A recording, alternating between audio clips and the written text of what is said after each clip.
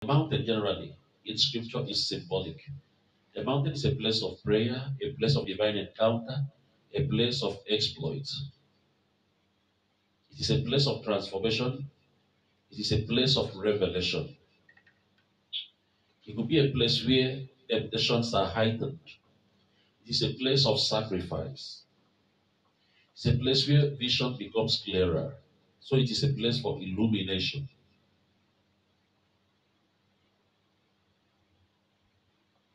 Particularly instructive is the fact that the mountain is a place where we meet God. I've also stated here that the mountain is a place for divine endorsement. It is a place for divine announcement. If you look at the scripture, you realize that many people who went through the mountain experience were always transformed. Their lives never remained the same again. Most of these people went to the mountain, either at the point of going to the mountain or at the point of being at the mountain, these people were devastated. Let's take our father Abraham.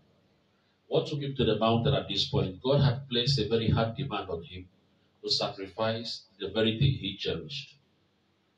I was sharing with people, I said, How did Abraham think? I mean, how did he feel? Especially the moment Isaac asked him that, here is the matches, or here is the fire, and here is the firewood. Where the, is the lamb for the sacrifice? So at that point, Abraham was at the verge of losing everything he had ever hoped for. Take note of that. Let's look at Moses. As at the time Moses escaped from Egypt, he had lost everything, especially the comfort of the palace.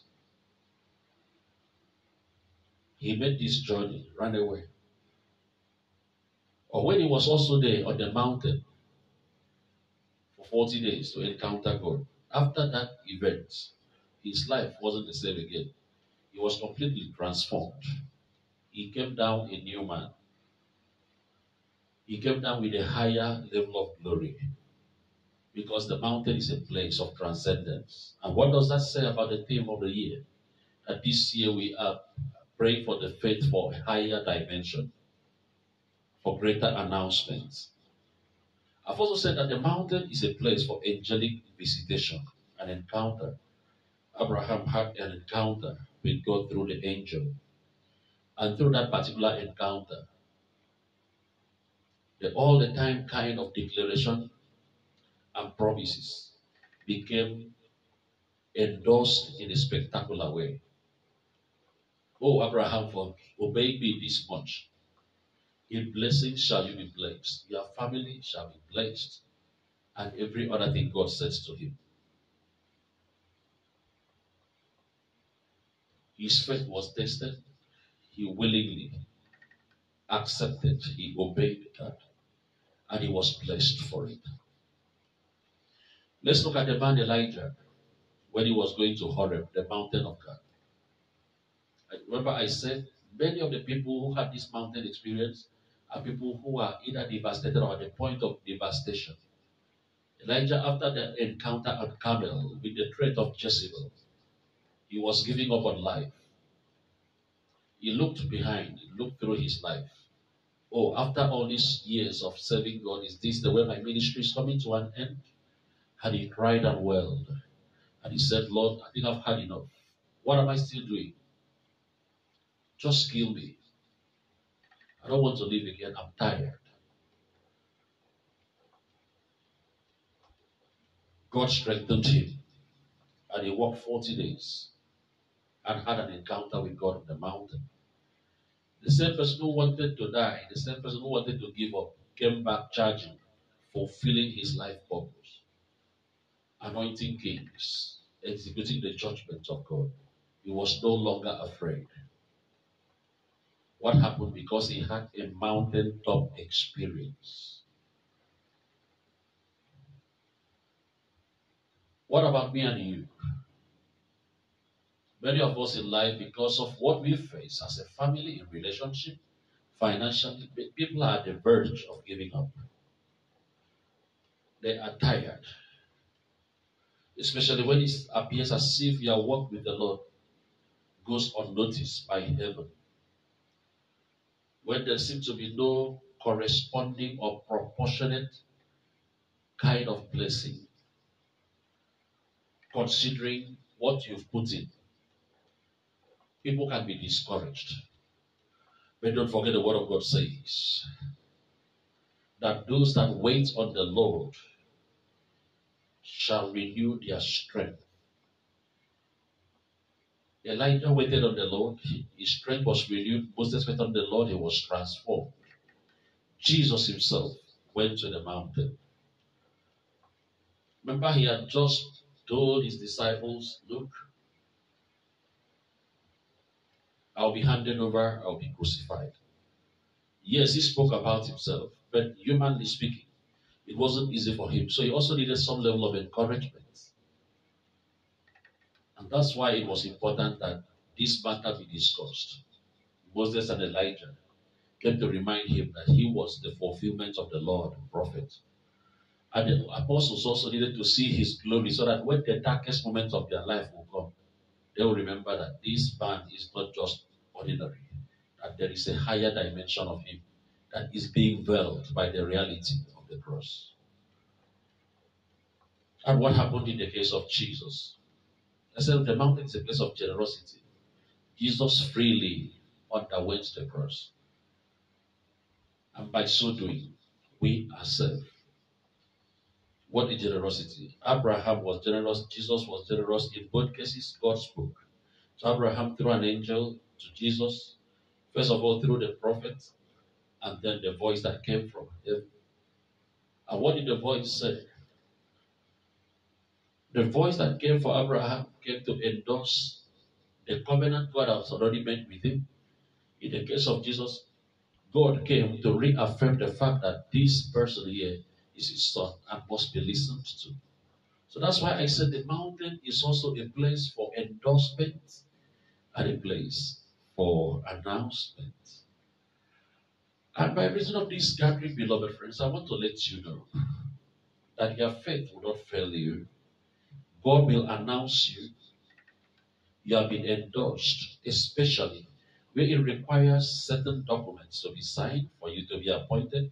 Even in your absence, this will be done in the name of Jesus Christ.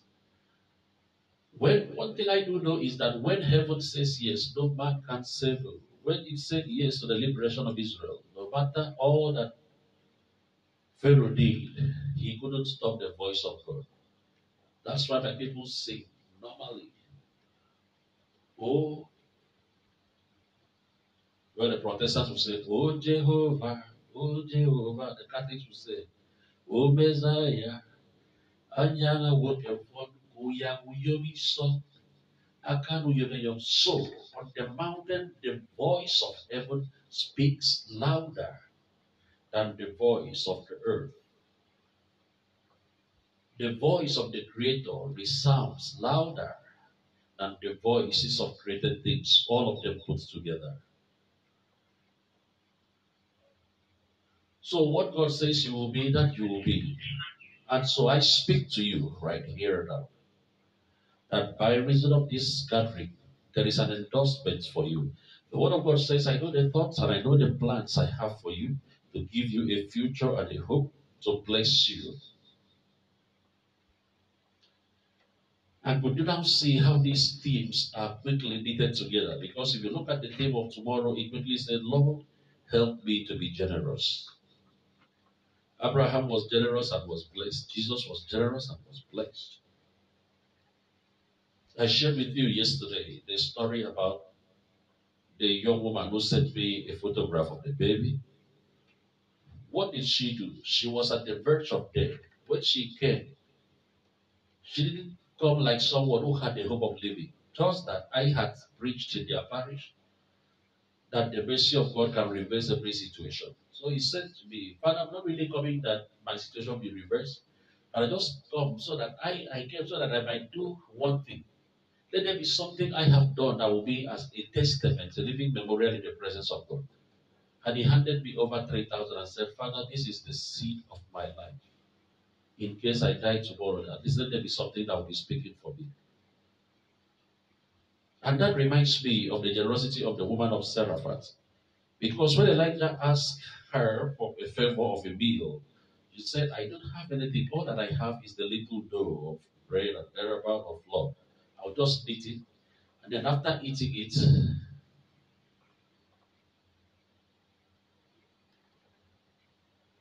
myself and my son, we will die. We will eat it and then we will die. Elijah said, No, you will not die. Just bring me first. For as the Lord lives, a jar of oil will never run dry. And so this young woman gave that seed and said, Father, even if you don't want to take it, use it for charity. But at least let it be counted in heaven that I have done something good. Even though before now my life has not been the best. And of course, I told you yesterday how the whole story ended. By the time I collected the seed, the same oil, the same Ephphata oil that you know, it on the mouth, anointed her. As I was anointing her, I was even afraid. I hope this one is not the last anointing. We are taking one. And the rest of the thing. But immediately I did that. The Lord said to me, ask her to just pick that booklet, the nine days booklet, do the novena, and let's see I'm God. If she will agree to do what I'm asking her to do, then on the last day, her menstruation will be done, which has ended for the last nine months. And there it was that she went, struggled the first time, couldn't complete the novena, the second time, couldn't complete, the third was at the fourth time. I encouraged her. And as she finished, the menstruation returned. Two weeks later, flesh began to grow on the skeleton. Six months later, the viral load in her system went down. Six months later, she said, Father, your girl is becoming better now. And she was now beginning to talk about looking for a job. And by three nights ago, she's sending me a picture and telling me not just that God spared my life, but God has also used me to bring new life to the world. What does that say? Generosity has the power to open up new doors. It can reverse a dead situation. Yesterday, I had another testimony which I still want to share with you so that you. I'm preparing you, I'm launching you into the month of March. We are talking about the month of revival and rejuvenation. God brought Isaac to life because practically he was like someone already dead. God brought Jesus to life.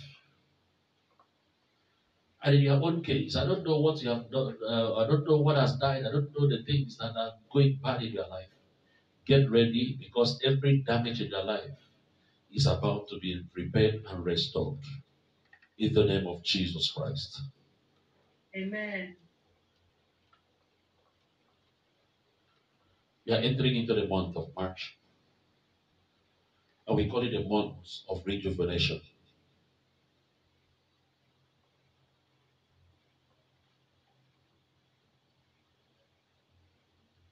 It is my prayer for each and every one of you. Who is that person? My spirit, someone, someone's tears right now is drawing me. You are on Zoom and you are also on Facebook as I speak. From where I stand, I can't even know who is where. The Lord says I should speak to you. I should speak to your heart. I should reassure you that He will show up in your life in this month of March. In fact, He said in the first seven days, He will show up. So let me go back and say what I wanted to say. Yesterday, a testimony came in from the area that is close to Kubwa, and that is Kagini. Here. I need to share this testimony so that my spirit will rest. This testimony did not happen to a Catholic, but actually happened to a non-Catholic. I'm trying to make some efforts by tomorrow to get the photograph of those who were involved. A father of two died, and the family was crying. And uh, one of my ministers was called upon because she has been helping, coordinating people from that area, bringing them counseling for prayers. So when she was called upon, it happened to be the period I didn't want to talk to anybody because I was in prayer. And she ran there. The only thing she had in her hand was the oil. By the time she went there, the whole family was crying. The person had already turned pale. And so when she arrived, she didn't know whether to start consoling them for what has happened. But then she was moved. And she requested and said, Well, it is true that the person has died, but then can we just do one more thing? And they said, Please, sister, whatever you want to do. He said, Please, I'm a Catholic. I know you people are not Catholic, you people are white garment. But will you accept an oil that is blessed by a Catholic priest? They said, Yes. So by the time they went in there, of course, the person was already stiff. The teeth was completely joined together. So she just placed the uh, anointed the cups and asked, please, can people try to open the mouth? So they had to go look for some knife and then fork or spoon and try to force the jaw open. And when this was done, she now put some quantity of the oil in the mouth of the dead man. Not up to two minutes, the person sneezed.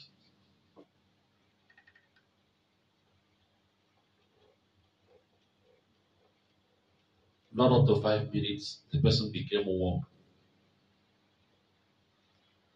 As I speak, the person is back to normal life.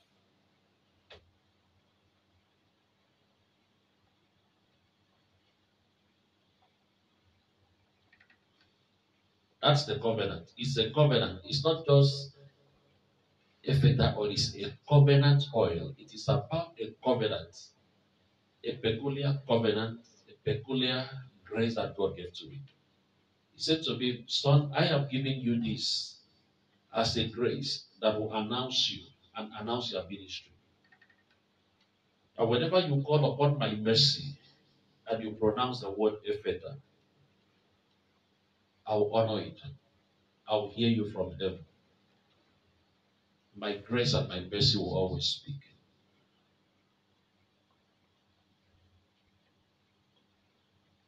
Two testimonies came in. The second one from the same person. a lady in their church, of course, I said Michael's Catholic Church, Kagini, I'm talking about here, was already booked for CS. The very moment she was to be taken in for the CS, she arrived with the oil and just placed the oil on the womb of that woman. And lo and behold, not quite up to two minutes or thereabout, the baby was born. And that was the end. What can God not do?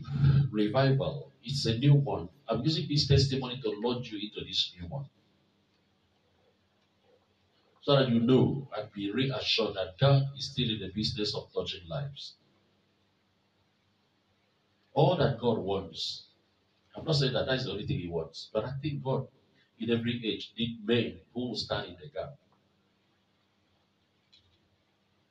Friends, as we stand in the gap, not just for ourselves, but for the whole world, especially for members of this ministry, even those who, on account of their situation, by reason of their environment, or who could not afford dot, I uh, mean, data, they want to be here, they want to come and hear the word of God, but they don't have the data to be here. We stand in the gap for them. I have always said that distance is not the barrier. I want you to get more serious as we enter into the month of March. Let's assume that in the first 10 days, 11 days, we are just launching, we are, we taxiing. Now we will start flying on a very high altitude. Wherever you are, please try to get our sacramentals because we are going to be very specific. Try to get our sacramentals. Wherever you are, try to get our sacramentals. We have our reasons for doing this. Try and get them. Because any day the Holy Spirit can come and then give us, drive us in a different direction. And when He comes, and when He gives the instructions, we will follow. So, once again, thank you for believing and thank you for being there. Thank you for trusting God and His power to serve. I believe that He will do that which you have been expecting. God is here to change our lives and our situations. And don't forget, the blood of the Lamb will speak for you. And so we pray. Lord Jesus, let your blood speak on behalf of our families today and in the new month. We call for the ministry of the blood of Jesus to speak deliverance to the foundations of our family, to the foundation of our towns, our kindreds. By the power in the blood of Jesus, let every unfavorable record be cancelled that has been working against us and our families in Jesus' name. Please, I don't know who is responding. You need to be apt. We have two or three more people who put amen because it's a collective um, thing we are doing. By the power in the blood of Jesus, let every satanic kingdom working against our destinies and families be destroyed in the name of Jesus. We use the blood of Jesus. We apply the blood of Jesus Christ to possess everything concerning us and our families. We sprinkle the blood of Jesus by the power of His chivalries upon every member of our family. We sprinkle it upon our business places. We sprinkle it for healing and for deliverance and for protection in the name of Jesus Christ. We call for the power in the blood of Jesus Christ to speak in favor of every member of our families. Let the precious blood of Jesus clear every hindrance, stopping our miracles and blessings. Let the blood of Jesus speak supernatural promotions in our places of work, promotions and elevations in our ministries, in our various fields of endeavors in the name of Jesus Christ. Oh, let the mercy from the blood of Jesus locate every member of our families. Let the fullness of the merits of the blood of Jesus affect every department of our lives and our families. Father, let the blood of Jesus and the fire of the Holy Ghost right now paralyze and blind every demon that has been commissioned to attack or to frustrate us. Let it paralyze the activities and cripple their minions and their programs, the programs of evil men and women who are jealous of our destinies and our positions that God has given to us in the name of Jesus Christ. We apply the blood of Jesus Christ to dethrone every evil spirit or evil person reigning in our positions of greatness. Let the blood of Jesus Christ cancel the effects of infirmity in the name of Jesus Christ. Let the blood of Jesus Christ perfect all that concerns us and our families. By the power in the blood of Jesus, let all, all invisible flow of contamination of causes in our family line be destroyed now. By the blood of Jesus, we stop the flow of these causes upon uh, subsequent generations we use our lives and our sacrifices to declare that these causes will no longer flow in our lives and families in Jesus' name. Amen. Every power blocking the blessings of our families in the heavens, on earth, and under the earth, we command them to submit and to release and to give way in the name of Jesus Christ. Amen. Let the angels of our families be empowered by the blood of Jesus. For the Eucharist itself is called the food of angels. And therefore, we strengthen, we empower, we recommission the angels, our guardian angels, the angels of our families, with the blood of Jesus, so that they will be full of strength to pursue and recover our blessings in the name of Jesus Christ. Father, we thank you for the merit of the blood of Jesus that has revitalized us. And in this month of our rejuvenation, we pray that the blood of the Lamb will revive everything that has died, will restore everything that we have lost, in the name of Jesus Christ. We declare the month of March will be a very special month of blessing in the name of Jesus Christ. We declare the month of March will be a month of transformation in the name of Jesus Christ. O ocean of mercy, soak us in the precious blood of Jesus and cleanse us of our sins. Jesus, big and humble of heart, make our hearts like unto thine. Lord, make us instruments of your love and mercy. Open our eyes to the secrets of giving and give us the grace to help those in need. Lord, help us to be less judgmental and let go of hurts easily. Heavenly Father, bless us and make us blessings unto others in the name of Jesus Christ. Father, we pray concerning tomorrow's uh, theme for prayer.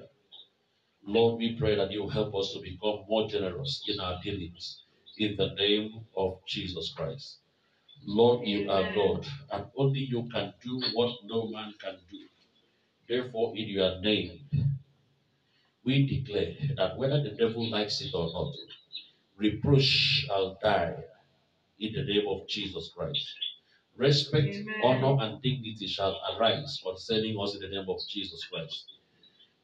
Every Amen. evil identity that is called reproach, we declare that enough is enough. For the word of God says, affliction will not rise a second time. And the word of God insists, for all your shame, I will give you double. Let this be our portion in the name of Jesus Christ.